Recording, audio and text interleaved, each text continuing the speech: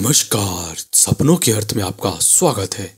यदि आपको भी ये सपने पौष पुत्रता एकादशी की रात को आते हैं तो आप हमें कमेंट बॉक्स में ज़रूर बताएँ। क्योंकि पौष पुत्रता एकादशी की रात को आने वाले ये सपने निसंतान दंपत्ति को संतान का सुख दे सकते हैं। पुत्र प्राप्ति की इच्छा आपकी पूरी हो सकती है, बस आपको इस संकेत समझने चाहिए। आज हम आपको बता रहे हैं पौष पुत्रदा एकादशी की रात में देखे जाने वाले सपनों के बारे में। इस बार पौष पुत्रदा एकादशी साल की पहली एकादशी है, जो कि तेरह जनवरी के दिन मनाई जाएगी। आपको एकादशी कि रात में जो भी सपने आते हैं, आप हमें कमेंट बॉक्स में ज़रूर बताएँ। यदि आज हम आपको जो वीडियो बताने जा रहे हैं, इनमें से कोई भी सपना आए तो समझ लें आपके घर में संतान की खुशियाँ आने वाली जब घर में किसी नन्हे मेहमान के आने की सूचना मिलती है तो घर परिवार का हर एक सदस्य इस बात को जानने के लिए चुक रहता है कि आने वाला मेहमान लड़की होगी कि लड़का होगा। दोस्तों, ऐसे ही ज्योतिष शास्त्र के अनुसार महिला को या दंपत्ति को कुछ विशेष प्रकार के सपने आते हैं, जिनका मतलब यह होता है कि घर में आने वाली संतान एक बेटा होगा। हम आपको बताते हैं कौन कौन से वे सपने जो अगर महिला या दंपत्ति को दिखाई पड़े तो उसका मतलब घर में एक बेटा पैदा होने की ओर इशारा करता है। दोस्तों, ऐसा माना जाता है कि अगर सुबह के समय जो भी सपने आते हैं, वह अक्सर सच हो जाते हैं। जो सपने हम आपको बता रहे हैं, अगर आप यह सपने पति या पत्नी में से कोई भी देखे तो हमें कमेंट बॉक्स में ज़रूर बताएँ। इससे आपको पता चलेगा कि आने वाला घर में जो भी नया मेहमान है, वह लड़का होगा या लड़की। दोस्तों, आइए जान लेते हैं कौन से हैं वे सपने। पहला है सपने में कबूतर आना। सफ़ेद कबूतर शांति का प्रतीक माना जाता है। अगर पति या पत्नी में से किसी को भी स्वप्न के अंदर सफ़ेद कबूतर दिखाई पड़ता है, लेकिन इस बात का ध्यान रखें, अगर सफ़ेद कबूतर केवल एक ही दिखाई पड़ता है मतलब आपको सपने में एक से ज़्यादा कबूतर दिखाई नहीं पड़ते, केवल एक ही कबूतर दिखाई पड़ता है तो आपको यह मान जाना चाहिए गर्भवती महिला को एक पुत्र की प्राप्ति हो सकती है। दूसरा सपना है, यदि आपको एकादशी के दिन महिला को सपने में कमल के दर्शन हो जाए, अर्थात कमल के फूल के दर्शन वह कर लेती है। जैसे महिला तालाब के किनारे है और उसे कमल का फूल तालाब में खिला हुआ नज़र आ रहा है, या महिला किसी मंदिर में है और देवी के चरणों में उसे कमल का फूल नज़र आता है। कमल का फूल देवी को अर्पित करती है। कुल मिलाकर अगर महिला को कमल का फूल दिखाई पड़ता है, उसके यहाँ आने वाली संतान एक बेटा होती है। इसका ये अर्थ होता है अगला सपना है शिवलिंग के दर्शन। शिवजी की उपासना सुंदर व प्राप्ति एक सुंदर संतान के लिए की जाती है। अगर गर्भवती महिला को सपने के अंदर शिवलिंग के दर्शन हो जाते हैं, जैसे कुछ महिलाएँ शिवलिंग की स्थापना कर रही हैं, अगर यह दिखाई पड़ता है, या कुछ महिलाएँ शिवलिंग की पूजा अर्चना कर रही हो तो ऐसे में उसके यहाँ एक सुंदर पुत्र संतान की प्राप्ति होती है। अगला सपना है अगर गर्भवती महिला स्वप्न में अपने आप को उल्टियाँ करते हुए देखती है तो इसका मतलब उसके घर में एक पुत्र संतान है।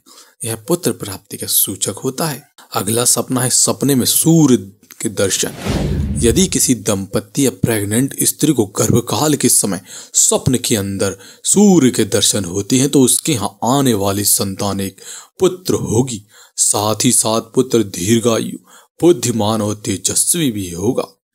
दोस्तों सपने के द्वारा आपके घर में पल रहे जेंडर की या बच्चे की सही सही जानकारी मिले ना मिले, लेकिन गर्व, लेकिन सबसे ज़्यादा ज़रूरी होता है कि जो बच्चा गर्भवती स्त्री के घर में पल रहा है, उसके पोषण का विशेष ध्यान रखना चाहिए।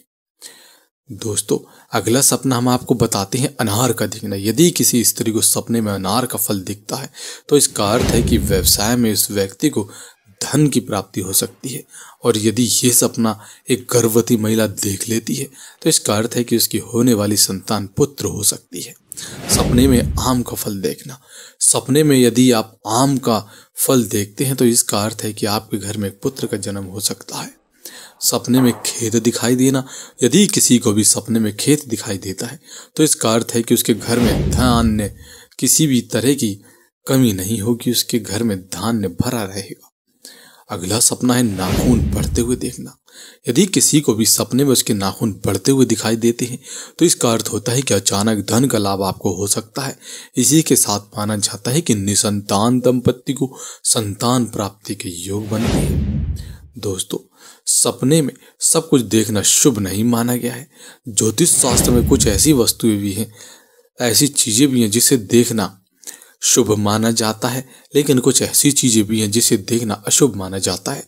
स्वप्न शास्त्र के अनुसार पर्याय, जितने भी हमें चलायमान वस्तुएँ हैं, उसे सपने में देखना शुभ माना गया है, लेकिन इसके अलावा स्थिर रहने वाली चीज़ भी है जिसे सपने में देखना भी बेहद शुभ माना जाता है। जैसे कि, आज यदि आपको सपने में अंडा दिखाई दे जाए तो बेहद शुभ संकेत होता है। ऐसा माना जाता है कि सपने में अंडे को देखना पुत्र प्राप्ति के संकेत है। इसके अलावा अविवाहित लोगों को ऐसे सपने देखना बेहतर जीवन का संकेतक माना गया है। यदि आप सपने में खुद को अंडा खाते हुए देखते हैं तो इसका मतलब है कि इसका मतलब भी काफ़ी ज़्यादा शुभ माना जाता है। इसका मतलब यह होता है कि आपको आने वाले समय में सफलता मिलने वाली है। तो ये कुछ ऐसे सपने थे। यदि ये दंपत्ति देखे या गर्भवती महिला को ये सपने आए तो समझ लें कि उसके घर में एक संतान की प्राप्ति हो सकती है, उसके घर में पुत्र की प्राप्ति हो सकती है। हम आपको बताना चाहते हैं कि पुत्र और पुत्री आज के समय में सब एक समान है। पुत्र और पुत्री में भेदभाव नहीं करना चाहिए। इसलिए हम इस बात पे ज़ोर नहीं देते कि ये सपने देखने से आपके घर में पुत्र की ही प्राप्ति होगी। बस आपको भगवान पे सच्ची श्रद्धा रखनी है और आपने भगवान से जो भी मांगा है उस पर पूर्ण विश्वास करें और भगवान आपको जो भी देगा, वह आपके लिए अच्छा ही होगा। पुत्र और पुत्री में भेदभाव बिल्कुल ना करें।